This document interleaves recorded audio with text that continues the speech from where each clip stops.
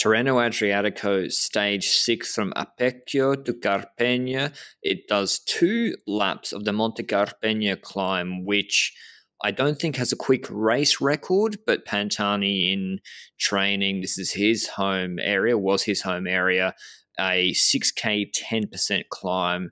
Apparently has some sort of lethal record on this. But despite it being the Queen stage, this long 216K stage finishes with one of the most technical descents in cycling this year. They do it before the last descent as well. So very tricky, steep climb, steep descent. Pogacar in the ascendancy, I think 10, 12 seconds ahead of Evenepoel on GC going into the stage. The others, Vingegaard, Landa, Mas, Porte, a fair bit further behind. But had a pretty strong break, Benji, for a man you believe should be going to MSR. Uh, are we talking about Simmons or Aranburu? Because both should be going to MSR. but you're you're right. Quinn Simmons was in the breakaway once again after that strong breakaway on the Bellante stage a few days ago. We also had a teammate from Alaphilippe, Honoré Konychev for Bike Exchange, Aranburu with a teammate in his team, Luis Mas Bonet. And next to that, Marco Haller, Bais from Eolo, and also Benoit Cosnefroy was in the breakaway here as well. Didn't see it though, because he was dropped by the time I started watching after the Paris stage. But we basically uh, knew that the action was about to start when we hit the Carpegna stage, and the break didn't have too much of a gap at that point in the race. We knew that the breakaway would likely be caught, but one of the riders that survived from that breakaway did actually do a decent job, I'd argue. Alaphilippe was not the last rider that left over. He was like third last or fourth last to drop from that group until two riders were left from that breakaway, which included uh, Simmons and Aranburu. Aranburu in the virtual leader jersey at that point in the race, but unfortunately didn't last too long. And um, he dropped a bit later on the Carpegna climb, and Simon was the lone man ahead. But the peloton at that point is where it's at because they were storming towards the wheel of Simmons and were about to catch him on that climb or just after. And uh, in the peloton, UAE was the one pacing, and we saw that Majka was already working relatively early on the climb. Like we know that the Carpegna climb today starts a bit later than the climbing already starts because there's like 5k of decent but not climb climbing yeah. before the Carpegna starts. And then on the Carpegna, we started seeing that the group was already a bit thinned out, and UAE was pushing it with Majka, with Poggi in the wheel, and a uh, third rider, which was oh, Soler, of course. That was also in that wheel. But very early on, one of the uh, top three in GC started having trouble in the peloton. Remco Evenepoel. Yeah, he got dropped when the group was still 25 men deep, when Majka was just setting a steady pace. This is steep, this climb, 10% average, steeper than that in parts. And yeah, he went he went backwards, which we'll talk about the whys, what we think about it. It's almost inexplicable getting dropped this early. Um, but yeah, that's his GC gone. This is the first descent. There's a technical descent coming up. We know Remco's not going to catch back on if he's 10 seconds behind over the crest. And so that's his GC done all on the second to last climb. Um, yeah, I was surprised it was that early, Benji. To be yeah. honest, I thought last Carpegna he'd get smacked by Pogacar and Landa and co. But I was surprised. First ascent, like Soler's still there, man. Yeah, it's very early, and we saw that Soler was taking over a bit later when Majka went off the back of the group. And the only real action we had on this climb was that we noticed that well, while a few people people were dropping off the back, Bahrain was moving towards the front towards the end of the climb, just after Soler did some work. And that's a, a thing I didn't really understand, but you described it in chat very uh, properly. What was the issue with what Bahrain tried to do at the end of this climb? Well, Bilbao is the best descender in this race. He's like top five descender in the world, God mode descender. And but he's not the best climber here, not even the best top 10 climber, probably. And Bahrain accelerating shuffled him back. And he wanted to attack on the descent. That became clear later. But with Landa and Caruso taking first two wheels, which was, I think, the order of Landa, yeah, he was shuffled back at the top, and you, you can't move up on this descent. Like, this is bike path, narrow. You don't want to go on the edges. There's snow melting on the side, or for ice or whatever. And they kind of fucked over Bilbao. And tactically for Landa, why not have Bilbao go on the descent? Pogacar's not going to risk his life following him. He, I thought he could have got like a minute. That's how technical this descent was. And then you force UAE to chase in the valley. Instead, they get to the like the lower slopes, three, four percent wide road. Bilbao eventually attacks when he can move up, and he's just pacing hard while Soler chases him back, and it doesn't really achieve anything. So, yep, I don't think Bahrain's tactics are, are that great always, Benji. I don't think Caruso and Landa make like Pogacar level decisions on the road. Yep, I agree on that. Today was a an example of that on that Carpegna descent. Completely agree with you on that. And the only thing that that Bilbao move could do is put some pressure on Soler, but the guy had been pacing already in the last climb. If any one of the GC riders goes on this final climb, Soler would likely be the man that is going off the front directly. And we noticed on the last Carpegna starting that Simmons was getting uh, already caught at that point, and he stopped by the side of the road to get like toe warmers on, which I found quite funny. Like because they they pause the finish line and then go back up the Carpegna climb. And when the climb started, Soler was there, started pacing again, and it really took until Bahrain once again started lighting it up on that Carpegna climb to get some action in the group. But was Landa the first one to attack? Yep. Oh no, Ciccone. Ciccone was like, Yes, how yes. can I make sure I drop as much as possible? So he attacked in the face of Fresh Landa and Pogacar. And he, listen, he needs to listen to his friend Bettiol from last year. He's like, Ciccone and Ray's decisions, I don't know about it. Ciccone, a talented rider, but yeah, that was suicide. And he got popped straight away out the back when Landa accelerated. It got give me some Mortirolo 2015 vibes when he was ahead with Contador behind, but it was pretty short lived. Pogacar was in the wheel. He was looking comfortable, cold conditions. And eventually, whilst Landa was accelerating through a hairpin, uh, Pogacar attacked and the group capitulated. And like you could just see the, you could visibly see that Landa sit down and be like, fuck. And Pogacar's gone, like immediately out of sight, race over. Um, who I didn't even know. I was thinking for a long time, Benji, like whose responsibility was it to pace out of Vingegaard, Landa, Mas, Porte? I don't really think anyone's. Yeah, I agree on that. They all want to try and get their position that they won, and there's not a single rider in that second group that thinks to himself, okay, if I uh, follow Pogacar here, I can beat him and actually gain time on him in this Tirreno Adriatico. I think they all know they're riding for second, and that became very clear when Landa and Jonas started complaining against each other on the climb next to each other. Jonas was complaining against Landa because Landa had been setting something up and then didn't did that attack, but then Pogacar countered him, and then Landa just stopped doing anything. But probably because it was on the limit, Jonas probably was somewhat on the limit as well to not follow that Pogacar move. But it became very clear that nobody wanted to put the tempo in it. Or was a little bit off the back, I think, at the moment that the Pogacar attack went. So Yeah. I don't think he should be responsible for it, but he was one of the first riders that went to the front of the group once he caught on and actually started doing some tempo, even though I'd argue that he should be trying to hold on at this point as he was dropped a bit earlier on the climb. But perhaps he wants that gradual tempo ongoing, or he wanted to drop people before we got to the descent, which is also a possibility. I think I'd yeah. argue. But uh, yeah, Pogacar instantly got 30, 40 seconds on the climb, even though it kept saying 12 seconds for some reason Yeah. it was pretty clear it was a, a larger gap because the other ones were just looking at each other and they actively chose the decision not to chase. They probably could have chased a tiny bit and imploded if they wanted to, but that's not a sensible choice at that point in the race. You know that Pogacar is much better than the rest of the competition. You know you're riding for second. They are deciding to ride for second in this race. And it became very clear that the race was going to be won by one man if he kept up in the descent because again that shady descent was upcoming. But did we see some action in the group behind attacks again? Uh, well, oh, I do want to say Pinot looked good. Pinot was with Hindley in G3. I thought this is the best he's looked in quite a while. Uh, so that was really nice to see. Um, I, I wish he would go to the Giro instead of the Tour, of course. And Hindley looked okay. Geoghegan Hart was dropped with Remco, I think. But yeah, it was. I really don't know who took too much responsibility pacing behind it. It was Mas. Never. He's from the school of Valverde. Um, and Pogacar had like a minute 40 over the top. So stage over. And because his gap is so big, I was like, well, he's not going to push the descent full.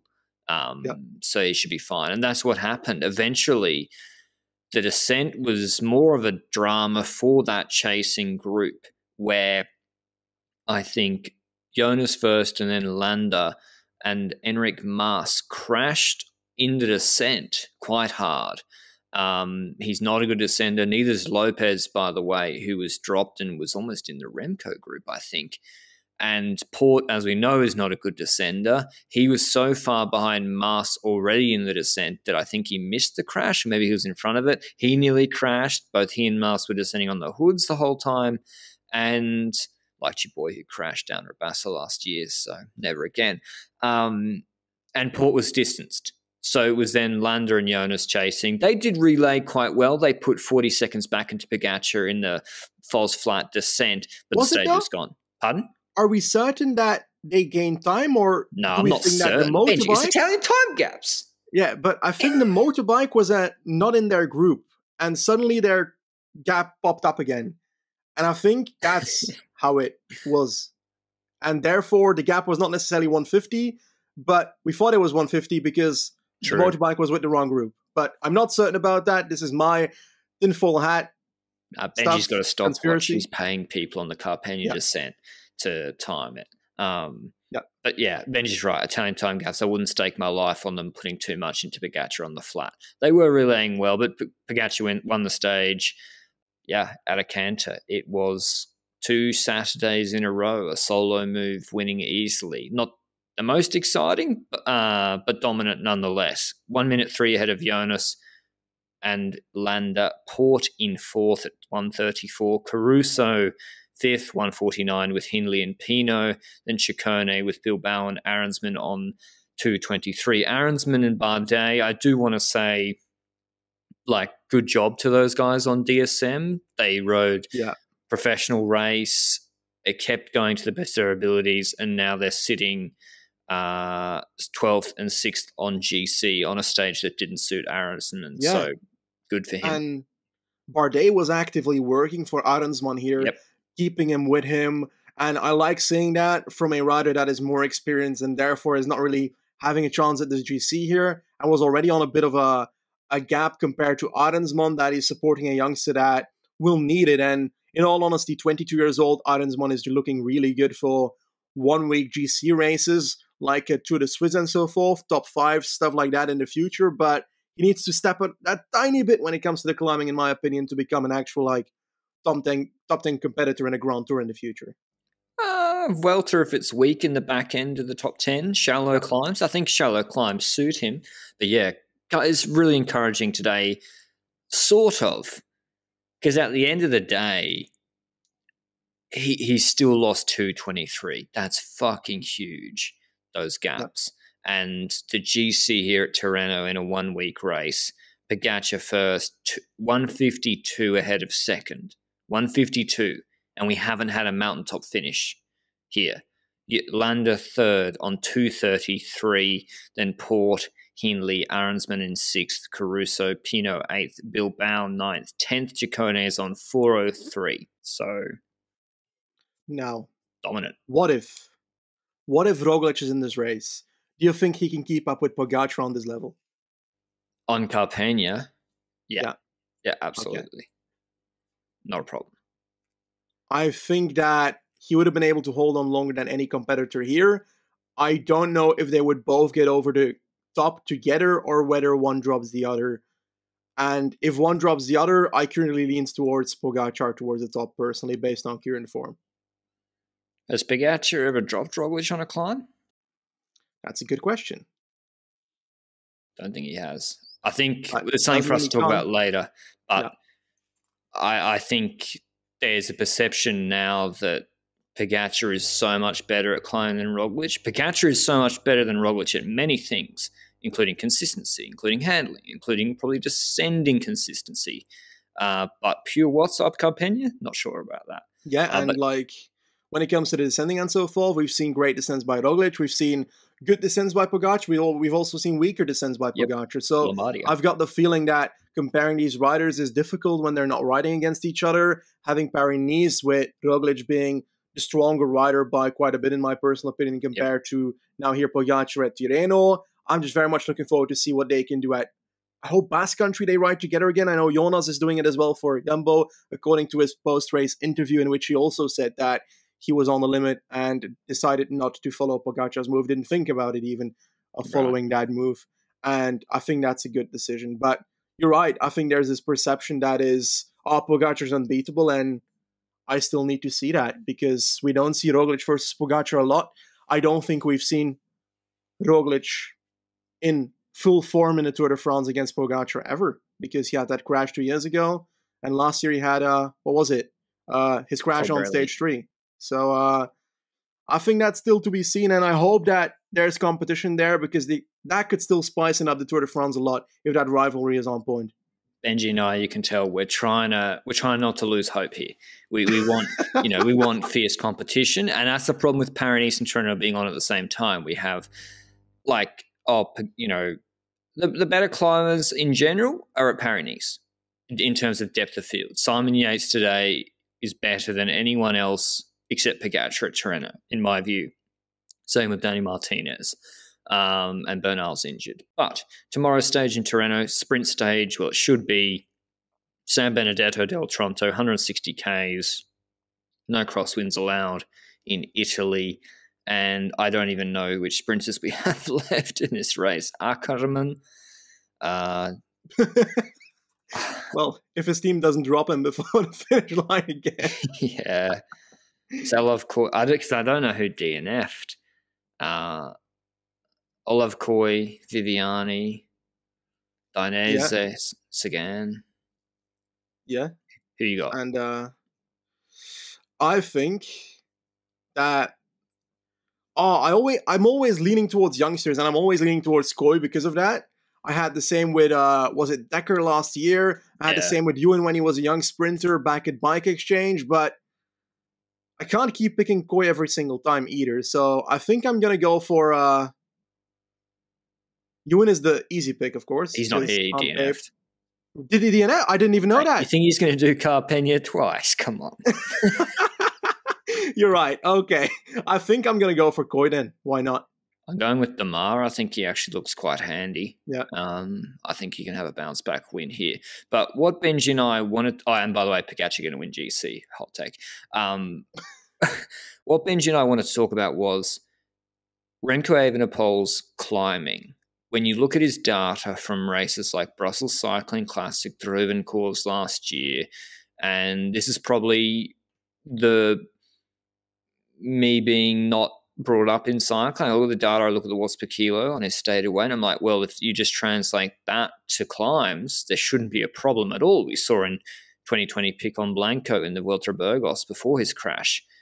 His climbing was quite good, not spectacular, sort of 5.8 for 2025 range but this year, Benji, Algarve, Fóia, oh no, the, not Algarve, the one before that, Valenciana, the stage he won, shallow gradient climb, 18, 15 minute effort, won the stage, looked great. The Maigmó climb, Pokemon climb, the gravel one, 18 minutes steeper, got dropped by Vlasov, completely blew up and lost so much time in GC positions. Today, Carpegna dropped from a group of 25 on 10%. What do you think is the reason for this? I think that it's a combination of not having ridden against Slovenians yet versus the terrain type and gradients and length of climbs. So, of course, in those earlier races that he did, he's competing against decent competition, but Carapaz in the Tour of Poland is not the level that Carapaz is in a Grand Tour. We know that. Carapaz in February looks weak. We know that every single year. And that doesn't necessarily mean that Carapaz is a bad climber. It just means that he's speaking for different races later in the year, and hopefully it succeeds this year for him because so far it hasn't been looking that amazing. But then we look at the competition he's been up against, and every single time I've got like, that is not the level of informed GT competitors, I'd argue. And I think that's one thing because this is the first time he's riding against Pogacar in a stage race, if I recall correctly. So that's one aspect to this. But on the other hand, if you start Carpegna and drop after what was it, three kilometers, four kilometers, Yeah. That's too early, even for Remco Evenepoel. And we look at the types of climbs he did. Valenciana, the one with the gravel and so forth. That is a longer climb with steep gradients. And it seems like that is becoming somewhat of a weakness this year because we've seen Carpegna also a relatively decently length climb of steep gradients compared to the ones he's good at, which was that first climb that he won the stage at. Was it uh, Valenciana, the first stage he won? Um, that was a climb that was a steadier gradient, wasn't that long either, but that steady gradient allows him to use his watts and uses CDA probably even his low um, body surface against the resistance of the wind and so forth to have more speed and therefore uses time trial abilities for that aspect. And I think that's where it comes in when it comes to those kind of climbs. And I think that's why those climbs seem to be fitting, fitting him better than these steeper climbs. And then my question is well, if you look at, what was it, the Lombardia that he was doing good at before he crashed out, Sormano was a very steep climb, but that came after that earlier climb that lies just before it, Paso uh, the Madonna del Ghisallo. And together, that's relatively long climb, and the last spot is very steep, up to 21%. But that was easier. But then again, he had puncher competition and not necessarily the climbers that we see in World Tour competition. So for every single race that he had so far, there's one thing to say where you can say that could be it or that could be it. But it's clear that at the moment he's not a World Tour GC rider in my eyes. As simple as that when it comes to proper mountain stages. And I haven't seen anything that shows me that he can achieve that in the near future because he should be doing better than he did today, quite certainly. I think he's at the wrong race for starters. He's at Paris parcours suit him a lot better. Quick step squad with crosswinds, one mountaintop finish, which averages 7%, and the gaps are not huge at Paris. Again, I'm surprised they keep sending him to Italy with these extremely technical descents. Um, but anyway, he's at Tirreno Adriatico with Alaphilippe. It's one of a few things, in my view. First obvious one is he's heavier than people think he is. Like, if a guy is really powerful on the flat and rolling terrain and can drop big guys off his wheel on the flat and then gets dropped when it's 9 10% earlier than we expect, then he's not 62, 63 kilos. That's yeah. possibility one.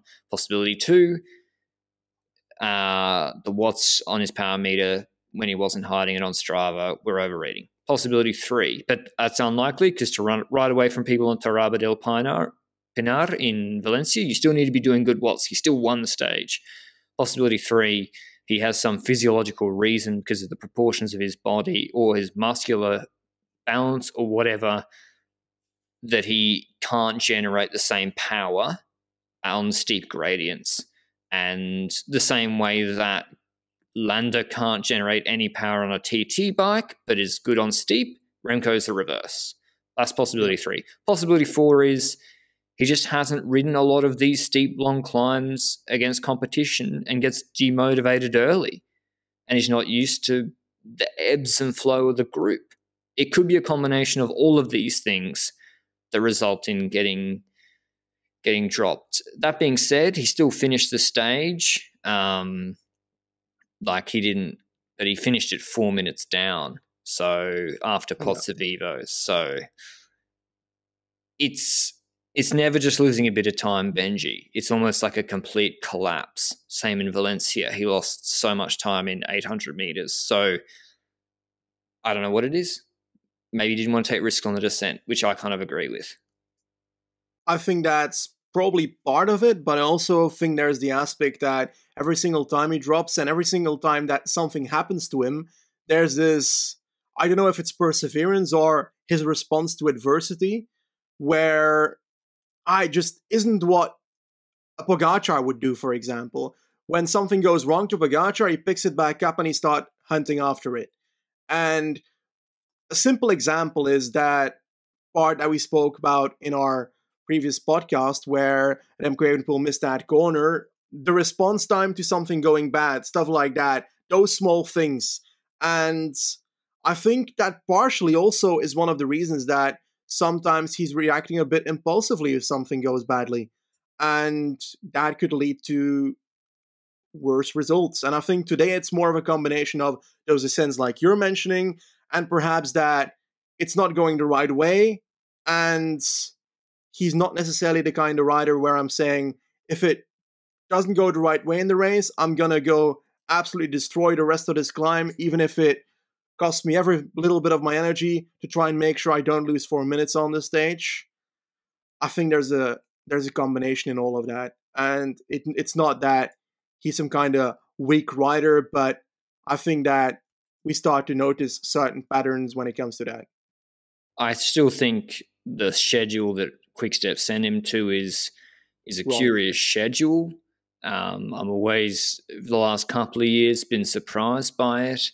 I'm not sure. Quickstep are a very good team, very good experience in classics, in hunting stages. Do Quickstep know how to prepare a 22 year old GC contender to no. be 25, 26? And we don't. It last year. Yep. They sent a guy that came from an injury instantly to the Giro. Like, that was destined to go wrong at some point. We said it before the Giro, we said yep. it during the Giro, and we noticed it happen towards the end of the Giro. And that's unfortunate because that not only ruins that Giro, but gives the guy the feeling that he probably didn't have a great Giro while coming back from an injury. That was a decent bloody result, in my opinion. Even if he DNFs in the third week, becoming so decent in the first two weeks is a good performance. And I think they made a mistake there. I think they made quite a bit of mistakes when it comes to his schedule and when choosing races that fit him as a rider. But I am curious to see what he does at the Hill Classics, though, because I bet you that he's going to attack on Lujdert on Liège, Bastogne Liège, like Carapaz did last year, or somewhere where Carapaz attacked last year, and will be that kind of rider where he goes early in LBL while Alaphilippe is the man that stays behind and tries to take it on the final hills again, I'm surprised he didn't do Paris I see he's doing Swiss. That should really suit him later yeah. in the year. Uh, usually has like three TTs in seven stages. Uh, but yeah, we'll wait to see what happens with Remco. Maybe there's an explanation for it. Maybe he's unwell. The team and he haven't really said, but Lombardia last year, Olympics road race last year, Algarve steep climb.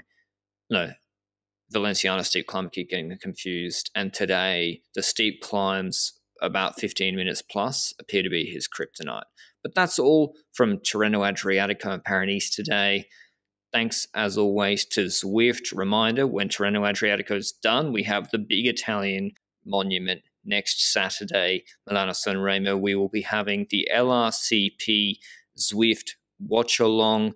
The link is in the description down below to get a seven day free trial for Zwift if you want to join and try it out and join us for the Milano Sanremo watch along before the Cipressa. We're really excited for it. Benji and I will be chatting along with your questions in the Discord link as well. So thanks as always to Zwift for supporting the podcast. We will see you with the recap of the last stages of Tirreno and Paris tomorrow. Ciao.